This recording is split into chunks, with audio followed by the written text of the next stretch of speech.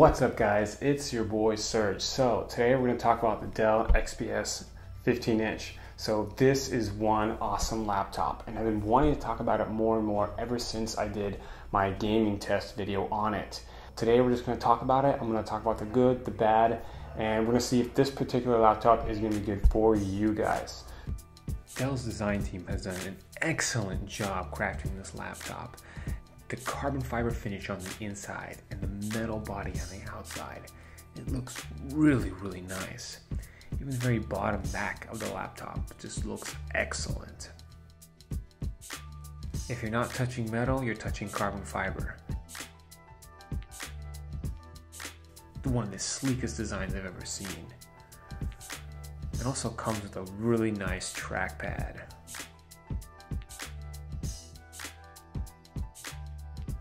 However, I did have mixed feelings about this keyboard.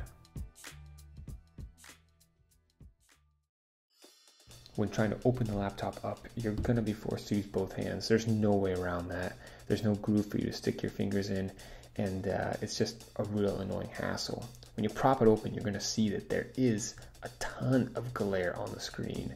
Uh, this has to be the number one most glare filled laptop I've ever used. Uh, me personally, I love Dell products, but uh, the screen it just has so much glare. It doesn't matter what you're doing, there's tons of glare.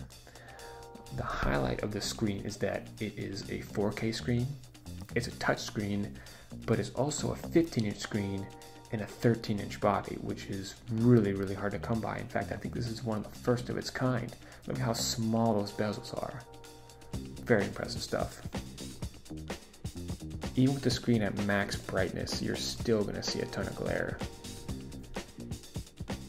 The 4K screen is really gorgeous. Trackpad is very precise, and the touchscreen is also quite precise. Didn't run into any issues there. When you're feeling the keyboard, it does feel a little bit mushy. Uh, I really expected a keyboard similar to the Surface Book or the MacBook Pros. On the side there you see the two air vents, one for the GPU, one for the CPU. So this computer here is rocking a quad core 3.5 gigahertz CPU, really fast, 16 gig RAM, NVIDIA 960M for really good graphics, and one terabyte of solid state drive. That's really fast. When I was picking this device up, I wanted it to replace my MacBook Pro, so I knew it had to be specced out accordingly. Flip it over on its side and let's take a look at some of these ports. Got the power connector, USB 3.0, HDMI, USB Type-C, and the headphone jack. I was pretty impressed. They did give you quite a lot of ports on this machine. My only gripe is that I think there should be a third USB 3.0 our standard SD card slot, USB 3.0, and a little surprise. I actually thought this was a great addition. You can check your battery life of your computer without having to turn on. When you're charging it, an LED on the front turns on. And you also have LEDs on your actual connector cord. So when it's plugged into the wall, you know that it has power. So you're never wondering if there's energy going through there. My only gripe about this power cord is that I feel like it might not be up to standards with other power cords. You can see the stitching on the sides there. I feel like that's really low quality. I feel like they should have added some better build quality to that. I'm not sure what they were thinking when they made the rear part, but it is very elegant. You have three screws on the side, four at the top, and these rubber feet. Oh my god If there's anything Dell did right, it's with these rubber feet. It's really sturdy. It looks great. Below you have the air vent. This is where the cold air is going to enter. And you have your XPS logo, some speakers. Pop the XPS logo open and you'll be disappointed to find FCC information. And you have two speakers at the top. They actually don't sound very good. For the majority of the time when you're holding this laptop, you're either coming in contact with the metal or the carbon fiber. It has an extremely nice premium feel. All the edges are really well put together. There's no sharp edges, no screws coming out of nowhere, there's no lines that don't need to be there. Everything just looks like it should. There's this really nice taper effect that makes the laptop look thinner than it actually is. Remember those rubber feet we talked about? Well, here's why they're so good. The thing is, they're almost a full half circle. So they prop the laptop up quite a bit. They give it enough airflow. And on top of that, you know this laptop's not moving anywhere. They're the best feet I've ever seen on a laptop, hands down.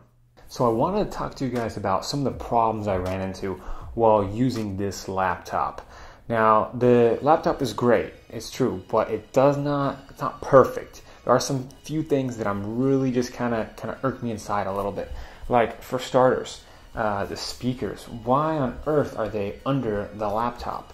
Uh, you know, you have the speaker, and there's just two of them. They're really tiny. Uh, they sound kind of tinny. Uh, and you know, there, I said it. The speakers aren't perfect. Do they work? Yeah, they work, and they're going to work for the majority of people, but they're just not very good. I suggest that, that they take the speakers, put them either in the keyboard or on the front here. I mean, you do have these sides right here where they could have potentially put them, but uh, I think it was a design element. They chose not to go with that, and so they're to pay the price for people who actually like to have good audio. Uh, but other than that, these speakers are to be good enough for just about 90% of all people. It's only those audiophiles that are really to care about that kind of quality. Personally, I would have really liked to have a number pad. I see that they have all this empty space here. And again, it's probably some kind of aesthetic choice that they design, decided to pick, but why not just shift the keyboard a little bit to the left and add a number pad? Uh, that would probably go a long way in making this device just that much more usable. I did experience an issue with uh, coming out of sleep and hibernation. So when you close the laptop and it's in a low power watt state, occasionally I open the laptop back up and battery is just dead. I'm not sure how this keeps happening, but the battery every now and then just gets completely drained. So in other words, there's no really good sleep or standby mode. I'm not sure if this is a problem with Dell or if it has something to do with Windows 10 optimization. Uh, I would probably think it might have something more to do with Windows 10. I do remember Windows 7 not being very good with that, and Windows 8 was a disaster. So Windows in general just isn't perfect. But the weird thing about that is, um, like on the MacBooks, I noticed that even in the Windows environment, I don't have that problem where when I open it up, it comes out of sleep. It has tons of battery life, so I'm not sure what's going on with that. But it is a problem I did encounter a couple times. So all in all, I love this thing. Uh, it's got these amazing rubber feet that by far are the best that I've seen on a laptop. Once you place it on there, it's gonna stay on there and it ain't going anywhere. Uh, for a Windows based laptop, it's got one of the best trackpads I've ever seen. I mean, it, seriously, it does not get any better than this trackpad simply because it's just big. Uh, a trackpad that's tall and wide is just, you're going to be able to do a lot more tracking with that. Uh, so it just turns out to be a really good addition. Um, the keyboard is definitely better than, than um, most mediocre and low end laptops, but I don't know how well it's going to compare to like the MacBook, for instance, uh, or the Surface Book. Those keyboards top notch. You can't really compare them to this one here. This one here does occasionally will feel mushy. Uh, I do like the look of it. I think the look is very, uh, you know, kind of minimalist, and I think that's why they removed the the uh, number pad that they no longer have there. Just kind of a downside. Everything about this laptop design just screams minimalist. Uh, you know, when you look in the back here, you don't really have that many screws. Just you know, four screws at the top, two screws on the side, and then four more at the bottom there. It's it's a good design. It's really good. Now if I can, they can just tweak a few things. When it comes to the port selection, I was really pleased. It has all the ports I'd ever want and even a little bit extra. Like for instance, the USB-C, you know, I don't necessarily need that, but I can certainly see how that's going to be really useful in the future once USB-C, you know, kicks off. The only thing I would like is them to add a third USB port. Uh, by the time I've plugged in my wired-based mouse and my portable hard drive, I can no longer plug in any other USB utilities. Of course, a hub can definitely fix that, but uh, I really do prefer to have three Uh, two is definitely fine. At least there's not one. There was just one that that would be that would make me angry. So, one of my biggest gripes about this laptop is the screen, screen glare. The the screen just it reflects everything. Even when it's on, it's going to reflect just about anything that comes at it. Uh, even at full brightness, I, I, see a reflection. It's still kind of there. Uh, really kind of annoying for me. So I really hope they fix that in the next edition. Um, I really like how they added the carbon fiber finish. There's no laptops that have carbon fiber finishes. Uh, you know, it's strong. It makes the laptop light, so it's just really kind of a smart move on their part, and it's just aesthetically pleasing, is quite nice. A lot of people are going to gripe about the uh, you know the camera at the bottom there that, that catches your nostril as you're talking on Skype or other video chats. Uh, personally, I don't even use those types of chat applications, so to me, it's really not a it's not a deal breaker. And if I have to, I don't think I'm really gonna be annoyed by it or anything. I, whatever, basically at this point. Uh, you know, it does come with the one terabyte SSD drive, which is great. I absolutely love that. It's the 16 gigabytes, so for video editors, uh, music production, you're gonna be able to do all that without any problems at all. But my personal favorite is how they added the 960M graphics chip. So because of that, you're going to be able to play all your favorite games. You're not going to have any issues. And even in GPU accelerated tasks, um, like uh, 3D rendering of certain models, um, or even in video editing, I think you can actually utilize the GPU on here to help you render some of the clips or some of the uh, overlays you added, like text, that kind of thing. Uh, so the future is bright, the specs are powerful, and somehow it still manages to be thin and sleek. So problems aside, this thing is killer. It's still a really, really good laptop.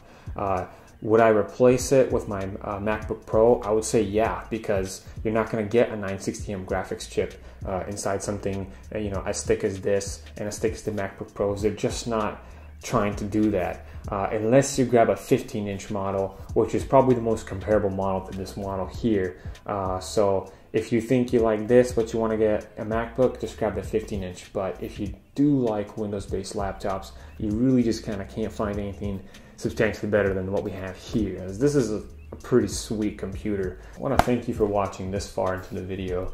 Uh, if you have any questions, do not hesitate to uh, leave a comment down below because I do reply to all my subscribers and viewers. Uh, I would say that uh, you watched this far, go ahead and subscribe. There's no reason for you not to.